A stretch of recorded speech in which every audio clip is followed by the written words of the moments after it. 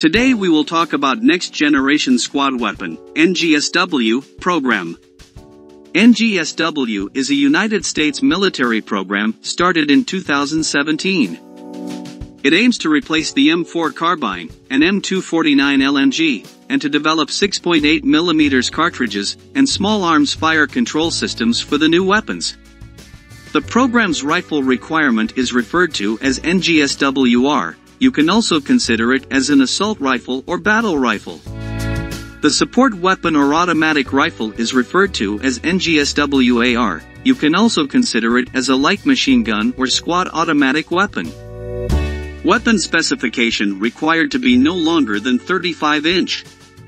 Not heavier than 12 pounds or 5.4 kilograms including attachments. Capable of firing a common 6.8mm US Army designed projectile. Capable of hitting targets up to 1,200 meters, and firing accurately at targets up to 610 meters. And able to use small arms fire control systems. Fire control system specifications required number of advanced technologies, including a variable magnification optic, from 1 to 8. Backup etched reticle.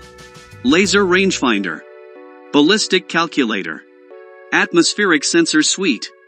Compass. Intra-soldier wireless. Visible and infrared aiming lasers. And a digital display overlay. A total of seven defense manufacturers competed in the program. Five companies attempted to design and manufacture weapons and ammunition. Two companies attempted to design and manufacture Fire Control Optics. SIG Sauer offered its SIG MCX Spear Rifle and SIG MG 6.8 belt-fed machine gun with custom 6.8 by 51 SIG Fury brass steel hybrid cartridges. General Dynamics offered its RM277R rifle and RM277AR machine gun with .277 TVCM polymer cased cartridges of true velocity.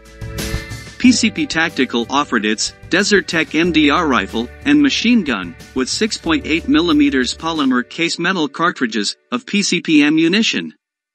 FN America offered its HAMR rifle and Evolys machine gun with Federal Cartridge Company cartridges.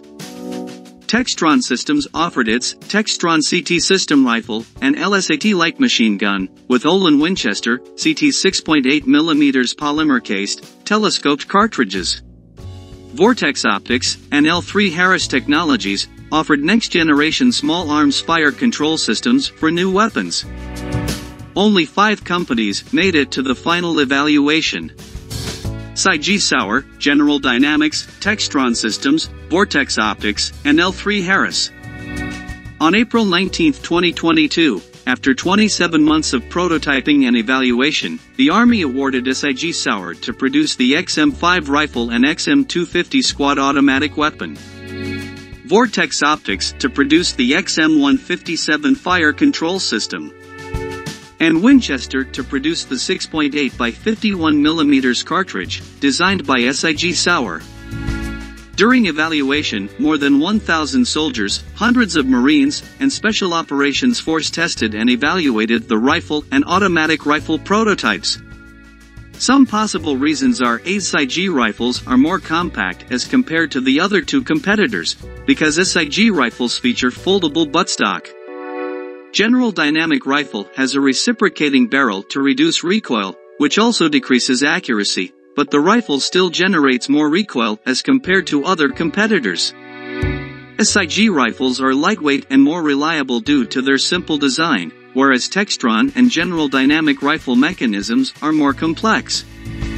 SIG rifle design has similar configurations and ergonomics to existing rifle platforms. Compared to other competitors, General Dynamic did not have a belt-fed machine gun. In modern-day warfare, belt-fed machine guns are more effective. Comparing Textron and SIG machine gun, SIG machine gun has low recoil because it uses a reciprocating barrel. You have to understand that accuracy is more important in a rifle not in a machine gun. The SIG XM5 will replace the M4 carbine in the infantry, scouts, and combat engineer communities. The M4 will continue to be used by general purpose forces, essentially all other soldiers in the Army for the coming decades.